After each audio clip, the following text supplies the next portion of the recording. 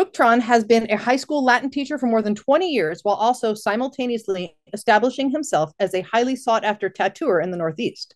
His acclaimed memoir, Sigh, Gone, a Misfits memoir of great books, punk rock, and the fight to fit in, received the 2020 New England Book Award for Nonfiction and the 2021 Maine Literary Award for Memoir.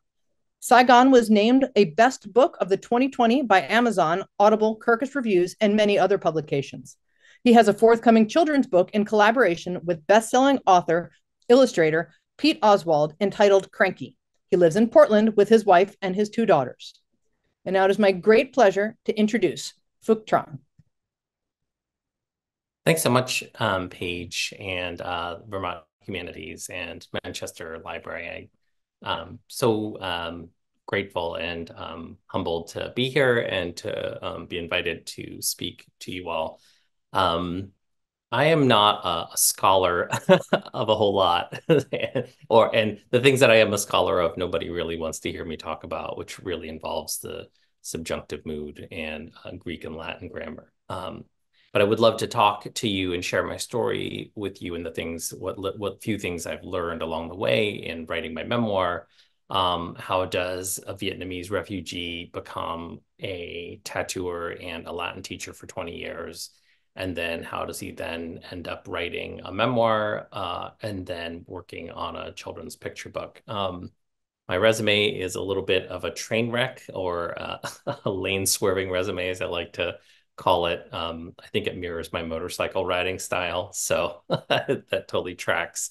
Um, so i thought i would just talk a little bit about my journey um, to hear. And then um, I would read a little bit from my book, um, during which I'll share a slideshow.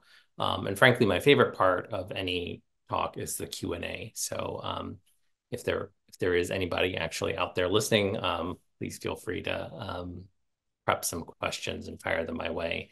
And there really is no question that's off limits. My memoir is pretty um raw, I would say. So um so yeah, feel free to ask um, questions or, or think about questions you'd like to ask during the Q&A portion. Um, so my name is Phuc Tran. Um, I was born in uh, Saigon, Vietnam, and uh, my family came to the United States in uh, 1975 at the end of the Vietnam War. And uh, my grandparents worked for the U.S. Embassy. So thankfully for us, um, leaving Vietnam was not as harrowing as it would have been for some people. Um, so we were part of that initial wave in 1975 that came here to the United States. Um, and we were not part of the so-called boat people who came later in the 1980s. Um, and so uh, in 1975, we came to the US and the US government had set up for uh, relocation camps in the U um, in the in America to resettle about 130,000 uh, Vietnamese refugees.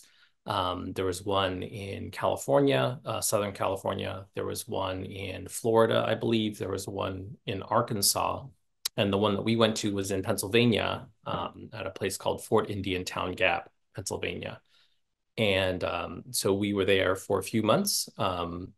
Until we were sponsored by some very nice Lutherans um, who lived in Carlisle, Pennsylvania. And so um, the, actually two families that lived in Carlisle sponsored um, my family and my extended family. So my grandparents, aunts and uncles, actually my great grandmother was also with us, my parents and me. Um, so I believe there were about 12 of us total. Um, and if, in that sponsorship, what they did was they found housing for us. They found jobs that we could sort of move into right away that didn't require a mastery of English necessarily um, because none of us spoke any English. Um, my father, when he was in Vietnam, uh, was a lawyer um, and, a, and, an aspiring politician. So, um, you know, he was educated, very educated. And then um, his first job in the United States was uh, driving a cement mixer because um, it didn't require it just required a driver's license and no English. Um, and um, needless to say, that was that transition was very difficult for him. Um, you know, the other interesting thing about growing up in Carlisle and about just sort of that whole resettlement process was that um, uh, the federal government had in place um, a policy specifically regarding Vietnamese refugees. Was called the Refugee Dispersion Policy, which basically meant that they did not want Vietnamese refugees to settle near each other. Um, at least initially, like the plan was to disperse the refugees as much as possible. Um, the thinking behind this was that um, basically prior to 1975, there were very few, if any, Vietnamese people living in the United States. Um, and so with this influx of 130,000 people, um, the US government did not want Vietnamese people to form, I think, I believe the word is cultural ghettos. Um, you know, in in the style of say the Irish, the Italian, you know, the Germans and the Jews, you know, a century earlier. Um, you know, the the federal government thought if that happens, these folks will not acculturate or acclimate, assimilate, you know, pick your word, um, as quickly. So, um, so through this policy, the refugee dispersion policy, my family settled in Carlisle, Pennsylvania, and we were the only Vietnamese family in the town. Um, uh, well, while I was growing up, I was the only Vietnamese kid in my class for a very long time. I think up until high school, you know. Um, unless unless the other Vietnamese person in the school is like my cousin or my brother or whoever. So, um, so I think so in comment. So that was interesting to you know say the least. You know, the it was the '70s and the '80s, and Carlisle was um, predominantly white, meaning like 90 something percent white, 93 percent white. I believe I looked up the sort of demographic statistic while I was working on my memoir. Um, and I don't think that's changed much even into the 21st century. Um, and so, you know, growing up in a town that's predominantly white in small town PA um, as the only Vietnamese kid is was challenging. Um, you know, and I think layered on top of that was also, you know, the what I can say now was sort of the post traumatic stress for my parents and my grandparents of, um, you know, coming to a country that they didn't know or choose to come to um, trying to learn a language, trying to survive. Um, so that was what that led to for me and my family was, you know, a lot of dysfunction and to be totally blunt, a lot of violence and abuse at home. Um, and so that was that was sort of the backdrop for mine growing up in Carlisle. Um, you know, being feeling very isolated in my town uh, in terms of not having, you know, a community. Um, and then going home and feeling uh, deeply unsafe at home as well. Um, and so in um, in high school, um, I found two things that really sort of saved my life. Um, one, I found skateboarding and punk rock, and um, you know that was at, for me at the time like that was the thing that I was like, wow, there are kids that feel really alienated and they feel like they don't have a place in the world and they're really angry about it. And it was that was incredibly liberating. Um, for me to discover, you know, and through that I found a small group of, you know, punk rock kids and skateboarders in my town who, and we all just sort of banded together because there was only like 10 of us, you know, and everybody else sort of was out to um, keep us in our place, as it were.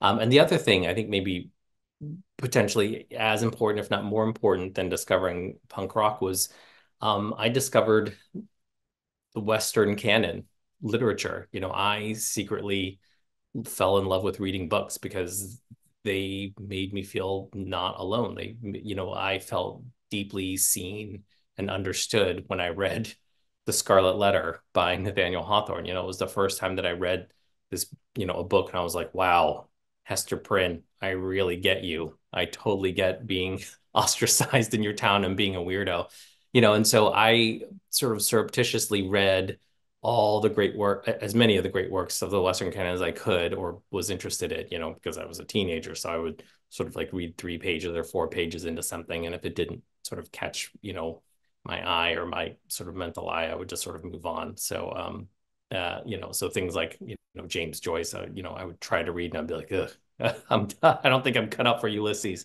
Um, but other things like, you know, um, Walden, you know, uh, the Metamorphoses, Crime and Punishment, the Iliad. Um, you know, I just read voraciously because I worked at my town library.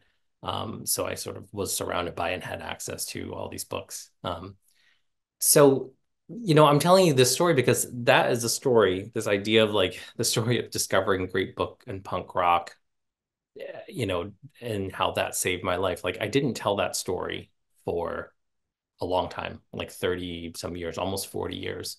Um, I just felt like it was like too weird of a story. It didn't sound like anyone else's story. It certainly didn't sound like anyone else's story from my town. Um, you know, and and for those of you, if anybody's listening and who didn't grow up in the 80s, like, you know, I think like the the pressure and the expectation to conform uh, was very strong, like this sort of like homogenous and homogenized monolithic culture um, was so prevalent in uh, the United States and in American pop culture. And so I just felt like I should keep that story like under the bushel. Like nobody wants to hear that weird story. Um, and so I didn't talk about it for a long time. I think maybe a takeaway, one takeaway from this talk and about my journey, I think is the value and the power in telling your story.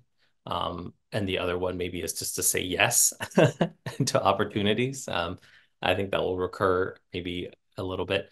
So, um, so I went off to college. I thought I was going to major in art and English. I ended up sort of not accidentally, but I ended up majoring in classical languages and literature instead. Um, and then I went off to graduate school um, to do my master's in um, Latin and teaching classical languages and literature.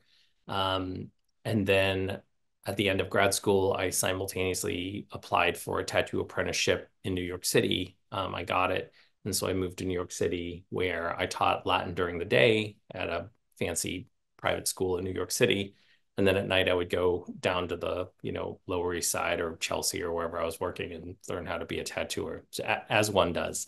Um, um, and so um, I think like the the next sort of most pivotal part of my life is um, in my late 30s, I started doing therapy. So big shout out to mental health, taking care of your mental health. Um, I, you know, my wife and I found out that we were going to have our first child, our daughter.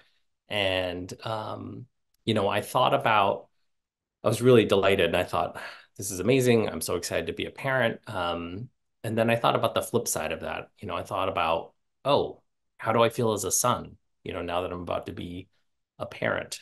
And, um, being being a son, being a child, did not feel good to me. Um, and and that for me was a sign that I had something that I had to fix or to work on um, because I felt like whatever energy or sort of baggage that I had around the feeling of being a son, I was going to bring to it as a parent. Um, and so I did therapy and started doing that in my late 30s, like mid to late 30s. And um, right at the end of that, um, a friend of mine emailed me and said, "Hey, uh, Phuc, I'm going to nominate you to give a TED talk here in Maine, um, like a TEDx talk." So, um, for those of you, I, I, I guess I won't explain what TED talks are, but you can Google it later. But um, basically, it's just like a 12 minute lecture. Um, and so a friend of mine said, "Hey, I'm going to nominate you to give this TEDx talk," um, and it was you know, it was just sort of like a happy circumstance or confluence of things that I was just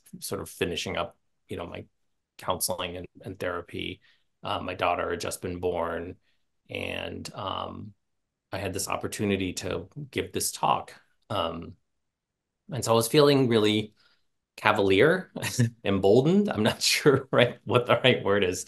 Um, and so I um, went to the TEDx committee and I pitched them this idea um, about what I wanted to give my, you know, my talk about, and they were excited about it. And so I thought, okay, like this is going to be the biggest platform that I'm probably ever going to have. Like this, these 300 people in the Bates Auditorium, and um, and I'm gonna I'm gonna really go for it. You know, I was sort of giving myself a, a pep talk. You know, I'm gonna talk about all the things that are really important to me because I really want this talk to be authentic and um, you know, and and if I fail, then I want to fail spectacularly. Like, but I'm not afraid of failure because I've had I've had all this therapy, right? Like, if this isn't the ultimate test for how good your therapist is, I don't know what is, right?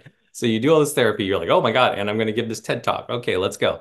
Um, so I thought, okay, so I'm going to talk about I'm going to talk about all the things that I've never talked about in public. I'm going to talk about my story and I'm going to tell my story. I'm going to talk about being a refugee, growing up bilingual. I'm going to talk about grammar. Um, I'm going to talk about Star Wars, pop culture, punk rock, you know, John Hughes movies. Um, I'm going to talk all about all of that in 12 minutes. So what could possibly go wrong? And I'm going to connect it all somehow. Um, yeah, it sounds insane. So if you want to watch it later, you can just Google me and my TED Talk will come up. So I, I gave the TED Talk um, uh, in 2012, and um, uh, and it seemed like the audience enjoyed it, um, and I was I felt really good about the talk, and I was like, "Ooh, okay, that was great." Um, and um, and after that, I I felt really energized that the, that was the first time that I'd ever shared my story about being a refugee, about growing up in small town PA, um, about my family's harrowing escape from Vietnam. Um, and people loved it. And so that put this idea in my mind that maybe I would do more live storytelling. You know, there was this thing that I would, had heard on public radio, and I was like, oh, this thing, it's called The Moth. And so I just started there, you know, it was start it was starting to sort of happen around Portland where, you know, people would sign up to do these like open mic um, live storytelling events. And so um, you know, I thought maybe I'll do that. Um, you know, me in in the meantime, uh, maybe like six months after I'd given the TED talk, um, I got this email from National Public Radio, and somebody, a producer there, said, "Hey, we um, heard your TED talk and and we think it's really great. We'd like to air it on NPR's TED Radio Hour. Do you have a few minutes to interview be interviewed with Guy Raz?" And and so I thought, oh, that's that's not that's not what I expected to ever happen from this TED talk, but sure, like I'll take the meeting. I'll talk to Guy Raz. that's the other takeaway. Always take the meeting. Um, so I said, sure, I'll talk to Guy Raz. So I talked to Guy Raz. You know, they they post my TED talk on NPR's TED Radio Hour. It goes out into the world. So like now all of a sudden, like, you know, whatever, 100, 200,000 people are watching it, you know, and that's very strange. Um, but here in Portland, like in my little bubble of Maine, like I was just getting up on stage once or twice a year um, to do this live storytelling. So, you know, each time I would do it, I would, you know, write a seven minute story, true, a true story from my life. I would get up on stage, I would tell it. And every time I told the story, folks from the audience would come up afterwards and they would say like, "Oh my gosh, I love that. You know, when are you going to tell your story next? Or you know, when's the next time you're going to do this?" Um, and then so I did that for four or five years, um, four years, and that was when I sort of had this idea, like, oh, like maybe I, maybe I have like more stories to tell. Maybe if I dare to be so grand, you know, to have delusions of grandeur, maybe when I'm 80, and I'm retired and I can't teach anymore and my hands don't work because I can't tattoo, maybe I'll write a book then. Um, and and I was like, yeah, maybe I will, you know, like, but who knows? It's, you know, so far off. And um, that was probably in 2016. And and right around then I got this email out of the blue. This um, agent, this literary agent in New York City cold called me, um, sent me this email and just said, Hi, um, I'm a little late to the game. I saw your TED talk from 2012 um, it seems like you have a really interesting story and an interesting way to tell it. Um, when I wrote back to her, I was like, thanks. Uh, um, she was like, would you ever be, would you ever be interested in writing a memoir? And I was like, hey, like I'm really busy. You know, I teach Latin during the day, I tattoo at night. Uh, I have two young kids at home, uh, but maybe, you know, always take the meeting. Um, so I, I, I said, maybe I'll think about it. Um, and so I just sort of like ghosted her for a little while.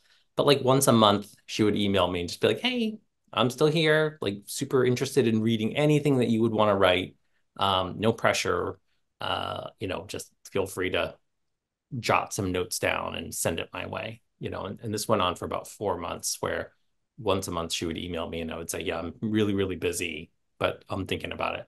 Um, and then in the winter of 2016, I think, um, I just thought, well, okay, um, this opportunity doesn't happen all the time where, you know, an agent will just reach out to somebody and say that they're interested. And so I, I sat down over a weekend and wrote an essay and, you know, thought I would send it off to her. Um, but when I wrote the essay, I again, I think very similar to the TED Talk, I really wanted it to be as as true to me and my voice and my story as I as true to all of that as I as it could be. Um, you know, I thought about it like, you know, if someone asks you out to prom and you decide that you're going to put on the weirdest, craziest outfit that you possibly can, and if they still want to ask you to prom, then you're probably going to have a great time. Um, so in the essay that I wrote for my now agent, you know, I I thought, okay, well, I'm going to write about the refugee experience, my you know my experience growing up in small town PA. I'm going to you know draw from like pop culture and like punk rock and song lyrics, and it's it's to be me. Um, and if she's excited about, then then we can do this. Um, otherwise, I, I don't want to write a book that's you know that is pandering to some sort of mysterious audience or you know even worse, like you know that is just so uh, inauthentic to who I am. I think it's like a holdover of like sort of like sort of 80s punk rock, right? Like you want to be true to yourself. Um, and so I wrote this essay, I sent it off to her. Um, I get this email back from her. She's like, This is great. I'm faxing you a contract for representation. And so then I was like, oh shit, now I have to write a book. um, and so for those of you who don't know, um, so nonfiction, when it's written, it is um, you don't write the whole book. You write what's called a proposal. Um, and so basically you write a chapter of your book and then you write a very deep and detailed outline of what the rest of your book would look like. Um, and then you do market research um, a little bit like on who who you think your potential readers will be. Um, and then you write you talk about comp titles, so comparable titles, meaning like you're basically it's like a sales pitch to a publisher saying, "Hey, I've got a story, a way to tell this story that's interesting, um, and it's going to make money. It's viable. This is a good, you know, investment because you know, let's not fool ourselves. Right, publishing is, you know, it's a business, um, and I'm a good investment. You know, that's essentially um, the proposal. Um, so we worked, I worked on the proposal for about a year. So from 2016 to 2017, um, it, it took a long time um, because I ended up writing two chapters of my book instead of just one. And we sent that out and then there was uh, amazon and flatiron were both interested in it so there was like a little back and forth about like who um, i was going to go with as my publisher um, i ultimately went with uh, flatiron which is traditional you know sort of new york big five publishing um, they're an imprint of macmillan and um, and then I started working on my book. Um, so that was 2017. Um, so I worked on the manuscript for a year, um, and that was uh, very challenging. I think because I was still teaching Latin full time during the day, I was tattooing at night. I still had two small kids at home who never saw me. Uh, never mind my poor sort of martyr of a wife, and um, so I would write every other Sunday for a year. So so in any given month, I had like I would I would write on a Sunday from you know like eight or nine until five or six, you know, until I was done, and then I would take two weeks off. You know, and in in those intervening two weeks, I would be jotting notes down and keeping track of ideas. And then like that second, the third Sunday would roll around, and I would go to you know the library and like just lock the door and then write for yeah, just write until I was done. Um, and so after at the end of a year, uh, I had my manuscript and then I sent it off to my um, editor. I'd actually been sending her bits and pieces along the way. But so the the writing of the manuscript took a year. Um, and then the editing took another year. So in 2000, um, so that was 2016, 2000, so 2017 into 2018, um, uh, or no, 18 into 19, sorry. Um, I was editing with my editor, you know, so she would read it and send me, you know, notes and then, you know, and it just takes a while because you've got this whole book, you know, so it's like sending big chunks of it, you know, back and forth. And um, so that took a year. And so I finished the book. The book was done with editing and everything. It was done, done, done. That was in 2019. And um, in the meeting with my publisher, you know, I think they're very savvy about like when to release a book. And they're thinking, well, you know, we want the release of the book to be as impactful as possible. Um, and so this is at the like spring of 20, spring or fall of 2019. Uh, they're thinking, well, you know, why don't we time your book with um, the fall of Saigon. Like that would be interesting. And I was like, oh yeah, that's that is really interesting. So the fall of Saigon is in April of April 30th. Um, and so I remember very clearly, like we're sitting in this room in New York City. They're like, yeah, April of 2020. What what's what's going on in you know April of 20 spring of 2020? That's totally fine. Um, so we you know put a pin on the calendar. We're like, all right, you know, um, this is when it's coming out. Uh, and then, of course, you know, there was this little thing called COVID that happened in March of 2020. Um, and lots of people canceled their or postponed their book publications, but we sort of like steered right into the storm. We released the book. You know, like I learned all about this thing called Zoom. Um, we had like a Zoom book release. Um, and I think, you know, at that point, again, I think I just felt like I'm I wrote a book. Like I don't like I never even expected that I would write a book and it's coming out. So I mean it, it is what it is. You know, I just you know, it, it wasn't that I was sad that I didn't have like a traditional book release or anything like that because I it was just so surreal. And also like it was like one month into COVID. So I think like everyone thought that we were all gonna die anyway. So I was just like, well, at least I wrote a book. Um and so um and again, like I think just sort of leaning into this idea of like the power of telling your story and telling it in an authentic way. Um, maybe six months after my book came out, I got um, my agent called me and she said, Well, um, I just got off the phone with a producer in Los Angeles who read your book. And he wants to know if you would, or if you're at all interested in working in the writer's room for a TV show on HBO. And I was like, hmm. I was like, I'll always take the meeting. Um, so I get on the Zoom, I talk to the producer, I talk to the showrunners, and um, and then after that, I signed on to um, work in the writers' room for HBO. Um, you know, I was still tattooing full time, so I was like, look, I could do it maybe like three days a week, like Monday, Wednesday, Friday, but like I can't just torpedo my day job. Um, so I worked for about seven or eight months on um, uh, HBO's English language adaptation of a film called Parasite. It was this Korean language film. It won the Oscar in 2021, I think, um, or 2020. Um, but yeah, so we worked on that for um, seven or eight months, and then HBO just put it on a shelf. They said, "Thanks for your service," and sent us on our way. Um, and then right when that ended, um, I got this strange email um, from uh, an illustrator and his agent this guy named Pete Oswald. And they said, Hey, we read your memoir and we are wondering if you would ever consider writing a children's picture book. Um, if you've read my book, you know, even if you haven't, there's there's like nothing in my book that screams out this guy should be writing for children, like at all. But I was like, sure, I'll take the meeting. Why not? Um, so I get on the Zoom with Pete and his agent. Um, and they tell me about this character, you know, this really angry construction crane who, um, yeah, who the whole point of the story is that he has a very flat character arc. He's just like unpleasant and cranky the entire way through book. Like he never gets better.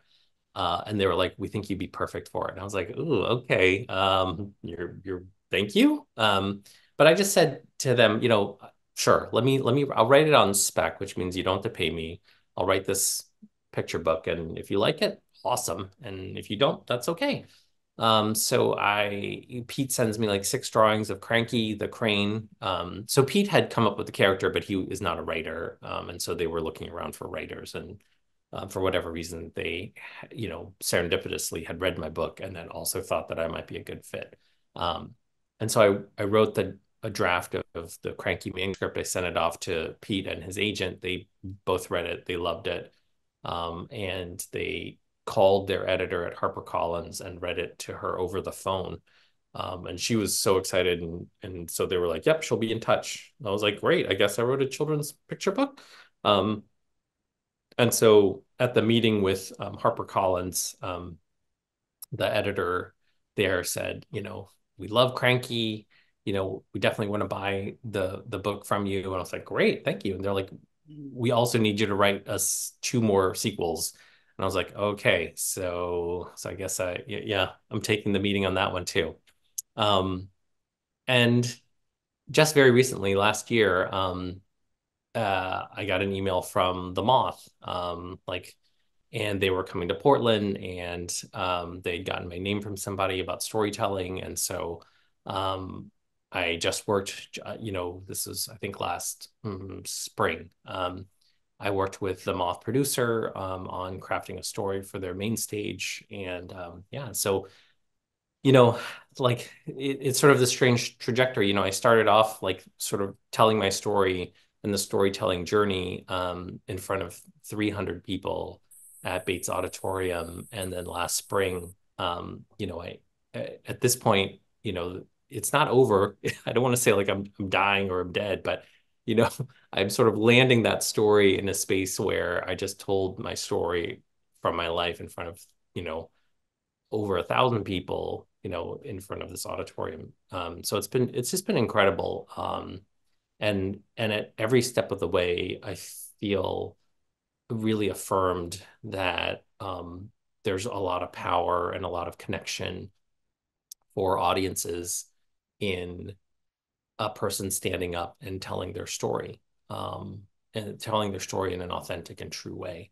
Um, so I think I'll pause there because that's really you've just like heard my whole life story. Um, and for better or worse, I also wrote a book. Um, it's my memoir. Um, it's not about my whole life. It just goes up until high school, the end of high school. Um, it, it sort of ends at the at graduation, you know, as an homage to um, like 80s films, you know, yeah, 80s coming of age films, like high school films, where like it always ends with like graduation, and you're like, yeah, I did it. Um, anyway, so I thought I would read um, for a bit from my memoir and then um, take um, some questions and answers, or I will answer some questions. Although I I always have questions to ask, but I probably don't have anyone to ask questions to. Um, so for the Zoom, um, especially for the reading, um, I have a slideshow that I'll share with you, just because nobody wants to stare at my forehead um, for 10 minutes while I'm looking down at my book. So I'm going to turn on my screen share. Um, and this will work great because we just tried it. There it is. That's me. That's uh, my book. Um, I'm going to collapse that really quick. I guess this is screen share, so I'll leave it up actually. All right, great. So, um, so every chapter in my book is um, told is told through the lens of a great book of classic literature. So this first bit that I'm reading is from um, the prologue, and it's called "A Picture of Dorian Gray." Um, and so I, I, just have some pictures from my town and from my yearbook and family photos and things like that that um, hopefully will be, uh, you know, at least give you something to look at. That's not my forehead. Um, so this is from the opening of um, my book. Nestled in the Susquehanna Valley town of Carlisle, Pennsylvania, Carlisle Senior High School sprawled as a monolithic mid-century modern block of types, archetypes, and stereotypes. Industrial gray lockers ringed its hallways, the compartments narrow enough to repel most of your textbooks, but wide enough to collect the trash and detritus from your backpack. It was your own personal landfill.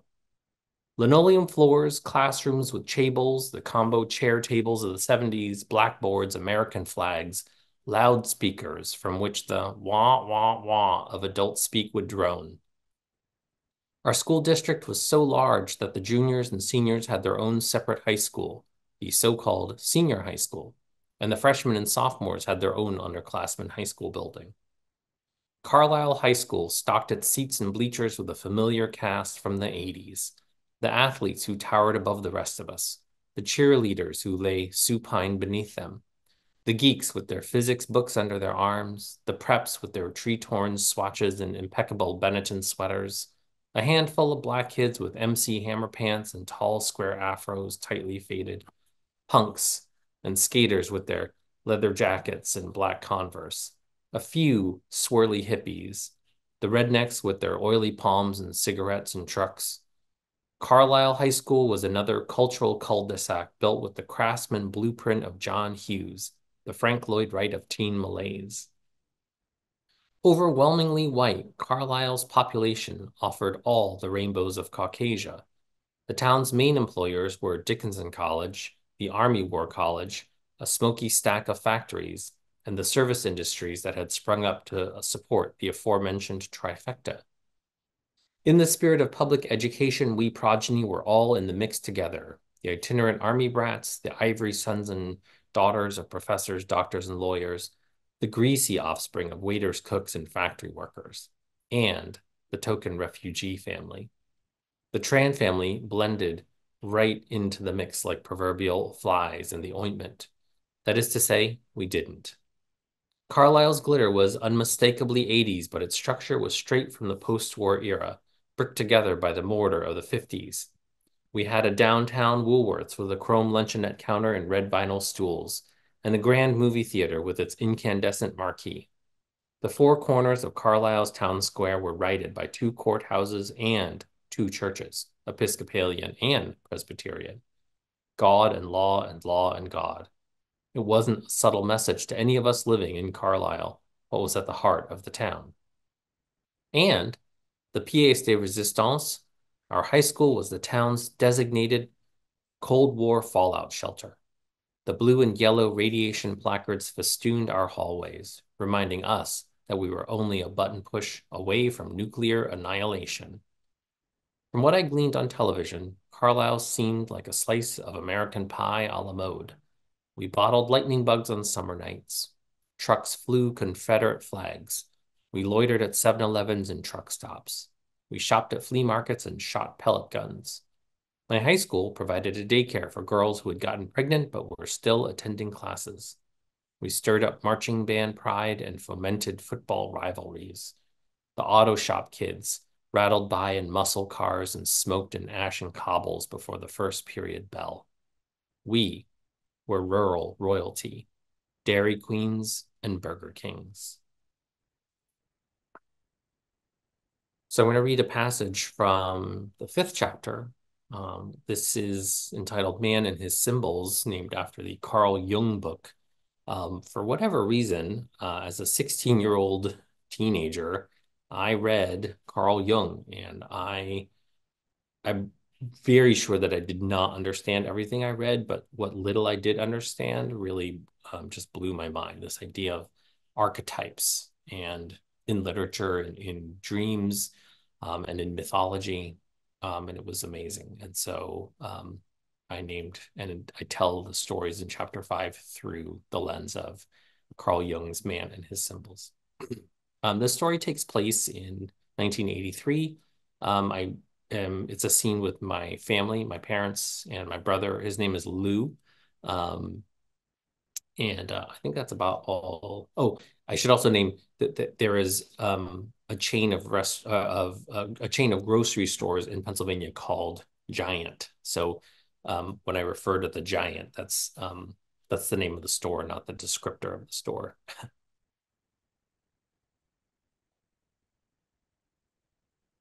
August 1983. Where are you people from? We were shopping at Giant, pushing our cart slowly. My brother Lou and I took turns dangling from the cart, making impassioned pleas to our parents to buy Count Chocula. An older gentleman stepped into our path, intercepting us with his question, the question that, as I grew up in Carlisle, I would sustain regularly. A query angled with varying degrees of inflection, from curious to neutral to cutting. Where are you people from? Even at nine years old, I heard the nuances of you people. I caught his drift. His drift was sharp and edgy. It was pointed. His drift didn't sound like a friendly game of catch. My parents hadn't heard him because they were Vietnamesing with each other about their shopping list. They weren't expecting anyone to speak to them. No one knew us in that informal, neighborly way, and my parents weren't part of the small town colloquium that burbled and babbled around us. I saw other people, friends and neighbors, stopping and talking to one another. How's Little League? Donna doing okay? Did you see the game last night? We weren't in Little League. No one asked about my mother's health. We didn't watch sports on TV. The man spoke up louder with the kind of volume that inferred a lack of Englishing. Where are you people from? I nudged my father, who broke off from his conversation with my mother, to acknowledge the man. Yes, sir? Always publicly polite. Where are you people from? The man had yellow tinted aviators and a graying mustache, reminding me of Magnum PI from TV. His belly overhung a large buckle, pressing taut against his plaid shirt. Maybe he was a private eye. Maybe he was working a case or was grocery store security. Oh, we're from Vietnam. My father smiled widely, nervously. His default was always to smile in awkward or strange situations, but I felt his posture tense up. My father also caught the man's drift, and he moved protectively in between the man and us. Yeah, thought so. Thought I recognized it. Vietnamese. I haven't heard it since I was in country. Thought to myself, sounds like Vietnamese. My brother Lou started to correct the man's pronunciation of Vietnamese, but I kicked him from behind the cart. Lou caught my drift as well, and he shut up. In the Marines there, stationed in Da Nang, 68 to 69. He looked at us all as he spoke, eyes slinking from my father's rigid smile to my mother, to us kids. Oh, yes, Da Nang is in the middle of Vietnam. We're from Saigon. My father continued to smile as we stood still, nervous prey whiffing a predatory scent.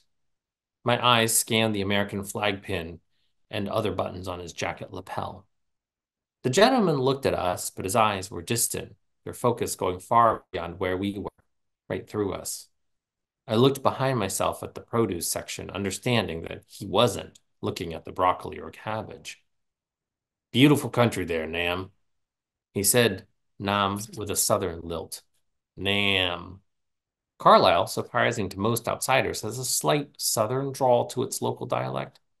Beautiful country, Nam. God damn shame what happened there. My father nodded. God damn shame, the man murmured. We all nodded and stood there for a time, staring at Mr. Magnum PI as he stared at the broccoli behind us. We, as a family, in turn, looked blankly around. My parents gazed farther down the aisle, my brother Lou and I fidgeting wordlessly at the cart, everyone bobbling their heads. The man hadn't asked us another question, so we had no answer to give. Well, you people have a good day. Thank you. You too, sir. My father and mother smiled and waved. Lou had used the distraction to sneak a box of Count Chocula into the cart. He nudged me. Why did that man ask us where we were from? My parents had already wandered farther down the aisle, sorting through the different cooking oils on the shelves. I was pushing the cart, so I answered Lou. Oh, because that man fought in the Vietnam War. The metal grocery cart resumed its screechy circuit in between the aisles. So? Well, we're from Vietnam. I said Vietnam the way the man had said it. Not me. I was born here in Carlisle. Lou had a point. Well, that is true, but people are always going to ask you where you're from. But I'm from Pennsylvania, spoken like the future lawyer he would be. Yeah, it's true. You were born here, but it won't make sense to people. They'll still ask you where you're from. They mean mom and dad, and me, your family, where we're from. How did that man know that we weren't from here? It's it's complicated. I chose not to explain bigotry to Lou, though he probably already knew it. He had experience being the only one in his classes too, but at least the other one at school was his brother. I was blindly hoping that he wasn't aware of the prejudice, but who was I kidding? Whose innocence was I trying to preserve? Why did he say that it was a shame what happened? Lou persisted. I don't know. He didn't really say, did he? I was pained to tell Lou to get used to being asked where he was from, but he had to, and eventually he would, whether I warned him or not. Get used to it or get crushed by it. We all learned quickly to smile and nod whenever veterans would see us and tell us that they were in Nam. They named their branch of service, told us what years they were there, where they were stationed, and how they found the people or the weather. Later, when I was older and a little savvier, I would round up my exchange by saying something like, Thanks for your service, or my grandparents worked for the US Embassy, volunteering something to identify myself as one of the good ones. That was much later when I realized that this wasn't about me or my family. It was about them and what we symbolized for them. How could I explain to Lou that we were symbols, that some people would never be able to see us as just people, that we were symbols of a painful and confusing war, symbols of the refugees that they saw on TV, symbols of what they were afraid of, symbols of the people who had shot at them and killed their friends, brothers, and sons, symbols of whatever they wanted to see. That was what we were for Mr. Magnum PI. In the middle of the giant grocery store, we had to pause our shopping and be symbols for what he saw in the fuzzy, distant gaze of recollection and trauma. The Trans didn't choose to be symbolic or archetypal, but it wasn't our choice to make. Then I just have one more short selection from chapter 10, which is named after, or sorry, chapter 8. It's named after the Metamorphosis um, by Franz Kafka. This is a very short reading, and then we'll jump into the Q&A. Franz Kafka's The Metamorphosis is a simple story. Gregor Samsa awakes to find himself transformed into a giant bug. When he discovers that he's a giant bug, he immediately looks at the clock and thinks about which train he can still catch to get to work on time. By himself, he's not freaking out about being a giant roach at all. His parents and sister, whom he's been supporting, freak out. His supervisor from work shows up and freaks out. Gregor has turned into a bug, but he does not freak out about his transformation until he has to navigate his relationships with his family and his work supervisor. You read the metamorphosis and you realize it's his family's ugliness toward Gregor that moves the story. Gregor is now a giant roach, and he cannot do anything about it. His family, instead of acting with compassion and kindness, sends Gregor to his room and locks the door. What's worse than turning into a giant bug? Turning into a giant bug and having your family act like a bunch of assholes. And isn't that adolescence? A biological change over which we have no control. And then our family, like a bunch of assholes, treats us like an insect in the middle of a metamorphosis that we ourselves hardly understand. Suddenly, with a different focus from the perspective of a bug, we can see who they really are. Alrighty. So stop the share think that's it for my presentation, as it were. Um, and I'd be happy to answer questions. I don't know if Paige, if you want me to um, read questions or do you want to MC the questions? Well, it doesn't seem like we currently have uh, questions in the chat, so I'll give people okay. a couple of minutes to think it through. But I, I'm fascinated, Phuc. You mentioned um, your uh, that you initially became sort of obsessed with Hester Prynne and Hawthorne. And then you had chapters that were named after Oscar Wilde and Carl Jung and then and then Franz Kafka. What I guess what did you find yourself attracted to? What what kind of like elements of literature kind of drew you in um, to make you want to address those uh, through your book because they seem rather disparate. Yeah, I mean, it. I mean, that's like that's such a big crux of the memoir. Um, but you know, I I was reading sort of voraciously anyway and secretly in high school. And then while I was working as a page at my town library, um, I was going through the discard pile in the basement and I found um, I found Clifton Fadiman's uh, lifetime reading plan. So Clifton Fadiman was this, he's very like kind of obscure now, but in the 50s, he was like this sort of this like public intellectual and like very famous. And he was like on game shows and things like that. And he had written a book called the Lifetime Reading Plan. And I found it while I was sorting through the discard piles. Uh, and I just, you know, opened it opened it up and read the introduction very quickly. And in the introduction, Clifton Fadiman writes, anybody who wants to be an all-American, these are his words, anyone who wants to be an all-American boy or girl needs to read these books. And I just thought, well, I want to be an all-American boy. Like, and so I, I bought that book for like 25 cents, you know, and um, it was like a list of like the Western canon. It was like the you know it was like literally started with like the Iliad, the Odyssey, and Gilgamesh, and then it went all the way through. I think you know maybe like Henry James or something. I didn't read everything, but I tried to read everything. You know, and like if I was not interested in like I tried to read Faulkner, and I was like, Bleh, you know, but but other things I loved. So yeah. Um, we had a question in the chat that says, uh, "You seem to be a person who takes the meeting, and why not? Uh, what do you think allows you access to your hopeful, positive, and curious self?"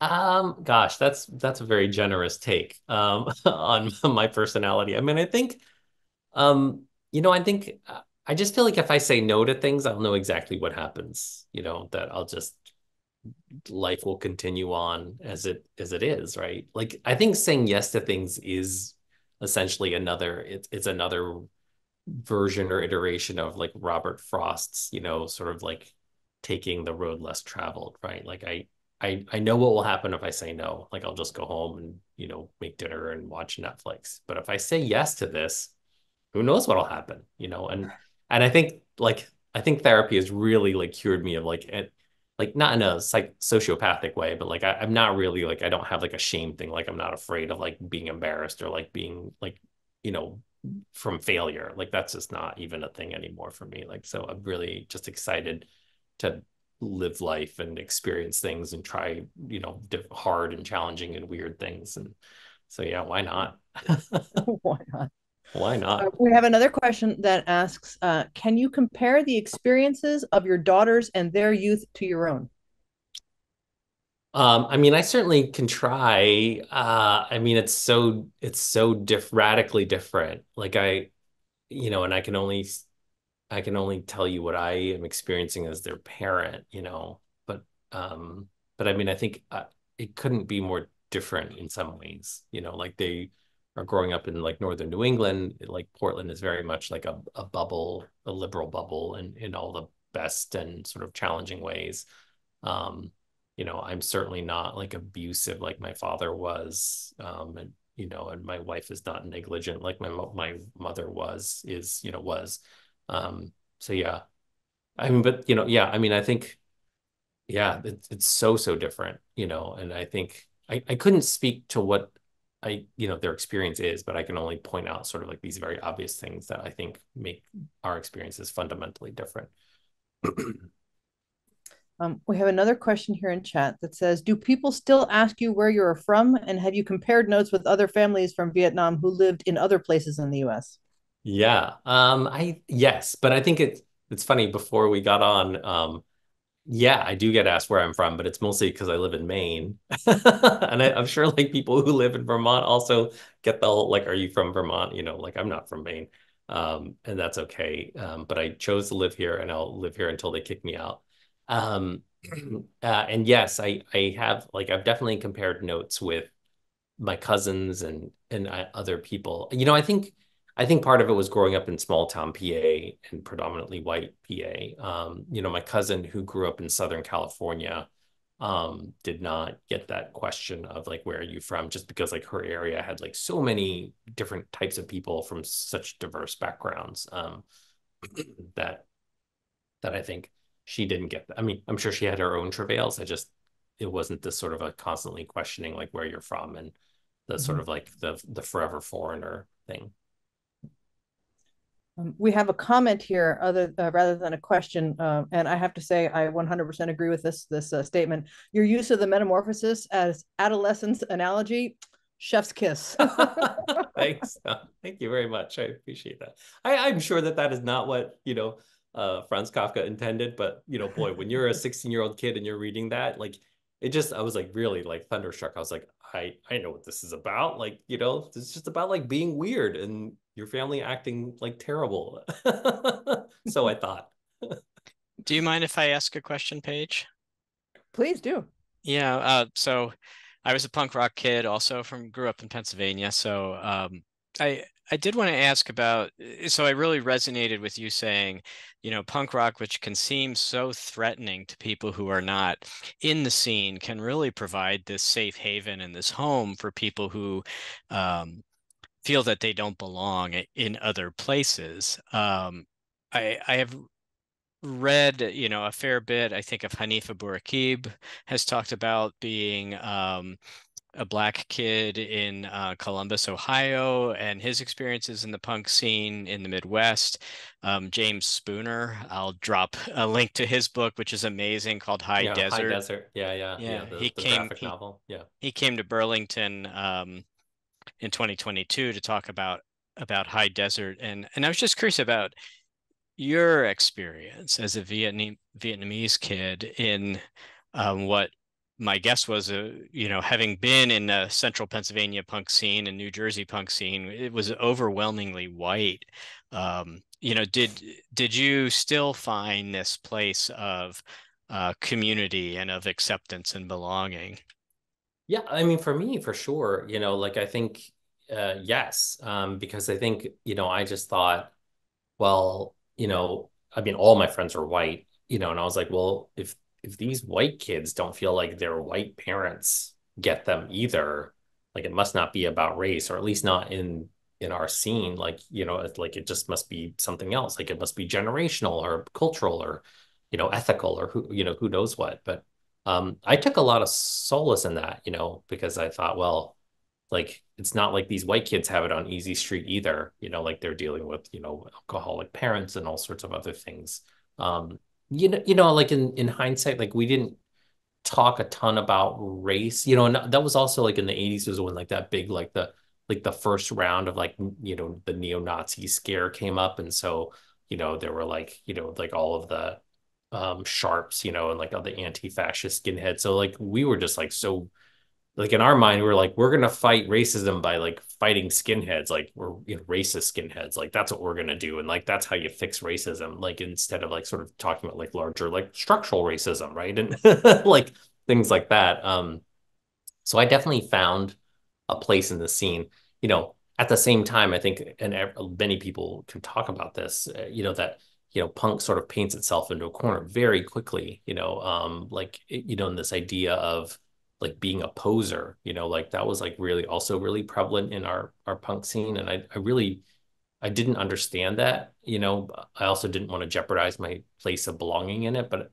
but to me it felt really provincial and small town and and um you know this idea like that like my friends are like deeply like very dogmatic in their punk rock. I was like if you listen to punk rock like you didn't listen to like rap or you didn't listen to like metal or like soul or anything like you just you only had to listen to punk like you didn't listen to like New Order because they weren't punk or you know whatever. It was you know and i was like secretly like but like i like New Order. I don't know like you know so it was you know it, punk has its own problems too. I mean as as every punk can attest to but it's also like nobody gets to hate it except me because i love it too much Um, Phuc, there's another question here that says, "What is your experience of learning languages? Formal lessons, textbooks, beginning readers? Uh, are they super easy for you to pick up?" Um, gosh, I don't. Yeah, at this point, I I think so. I mean, I, I yeah, I mean, I uh, you know, when I went off to college, you know, I so I, I grew up bilingual in English and Vietnamese, but my Vietnamese is sort of like i am like I like to joke, you know, it's sort of it's like frozen in like being like a second or third grader and I never learned to read or write it. But um, and then when I went off to college, I did classical languages, you know, so I learned Latin and Greek. Um, and at, I went off to college at Bard and and in our classics program at the time, you learned Latin, Greek, and Sanskrit. So I did that. And then I thought I was going to go to Germany for grad school for their classics programs uh, because it was free and also like, um, you know, uh, very prestigious. So I I did like a crash course, like German immersion, and then studied in Germany for a summer. So I, I and I ended up taking so much German that I ended up minoring in German as well. Um, and then while I was living in New York, I I took French classes at Alliance Française, uh, just because I have relatives in France, so I wanted to just be able to speak to them. I guess I I yeah I don't I I like learning languages. We were just in Iceland, and I was like nerding out over Icelandic. Boy, Icelandic is super crazy. Um, I don't know if I I learn a lot of languages badly. I guess I'll say that. really badly, but with a lot of enthusiasm. So yeah. um, in in terms of uh, language, there's another question here that uh, I mean, sort of a a, a very messy segue that I just uh, put there. Uh, did you step into the role of a translator for your parents in the early years in Pennsylvania? Um, I you know I I don't think so. I was because you know what I was two or three, and my so I think like I was only speaking Vietnamese at the same time that my dad was only speaking Vietnamese, and so we both kind of learned English at the same time. And very early on, um, my dad um, dedicated himself to just speaking English to me and my brother um, to practice his English at home. So, um, so like I think like very early on, I didn't translate for my parents, but I would help them with pronunciation. Like I very, very clearly remember there's like a story in my book even about like um like sort of helping my dad pronounce words um and and things like that. So so like I would correct his English, but I wouldn't translate for him. Which kind of piggybacking on that question, I want to add what about as a cultural translator? Because I imagine that as a child growing up in school, you had a, a, a much more severe crash course in in American culture than your parents would have had as adults. Yeah, that's so tricky. Yeah, yes. Uh, I mean, I think like my brother and I were always sort of like that. That's not how we do things here, you know. But also, there's like this like piece of like, you know, in Vietnamese culture, like kids don't, you know, there's a very rigid and strict hierarchy of like, you know, respect, power. You know, let's just call it what it is, like power. Mm-hmm. So, you know, kids did not talk back to their parents. You know, um, or if they did, you know, there were some you know repercussions um, for that. So so we didn't even really help them acculturate because like you know like they would just be like you're a dumb kid like what do you know you know so like we'd be like you don't need to do that or you know whatever so mm-hmm. yeah um on a different uh, level of questioning this one is what's your favorite Ramones song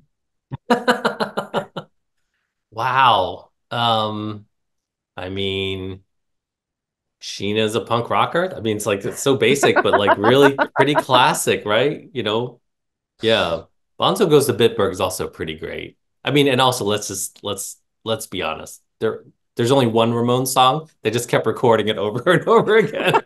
and it's really good. It's one really good song. It's like the Rolling Stones, you know. just different uh, a different seasoning in it yeah. Yeah yeah yeah. It's controversial i know. Sorry. Um, i have a question for you and i hope you didn't answer this already when you were speaking and then i just missed your answer. No, when it's okay. you um when you received the request to write the the story for Cranky, did you have uh were you given like a storyboard that you were working from, or was it a concept that you were working from, and then this you wrote the story, and then the illustration comes out of that? Uh, how, how did that? What was that process like? Yeah, I didn't say yeah. So they just sent me six six pictures, and it was really just to kind of get a lay of the land for who Cranky was, and then they just said, you know, they said we we want to sort of focus on like socio emotional learning like that was it. Like there was no like plot narrative or anything like that. And I was like, okay. You know, so it wasn't like write a story about like Cranky going to outer space, you know, or you know, Cranky saves the world.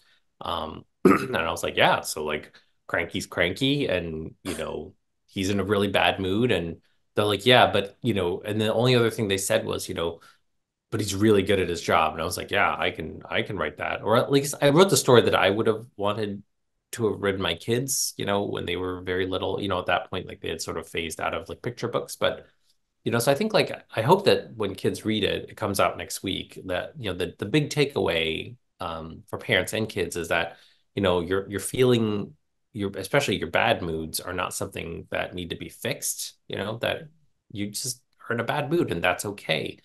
And that you still need to show up and do what, you know, you're what do what you need to do do the things that you're responsible for and see that through um, despite your bad mood.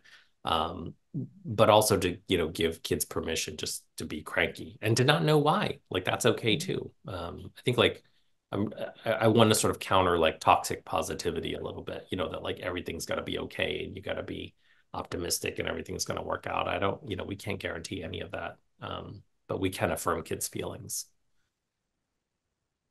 uh, the follow up to that one is somebody's asking if the other two stories they asked you to write were also about Cranky.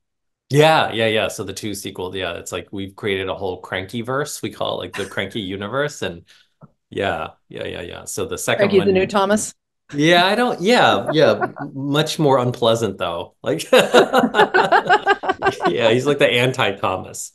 Yeah, maybe we'll have like some sort of like universe crossover, like multiverse crossover, where like Cranky and Thomas fight or something. I know it would be really funny. Yeah yeah, yeah. I, I, would definitely read that. Cranky beats the crap out of Thomas. I love it.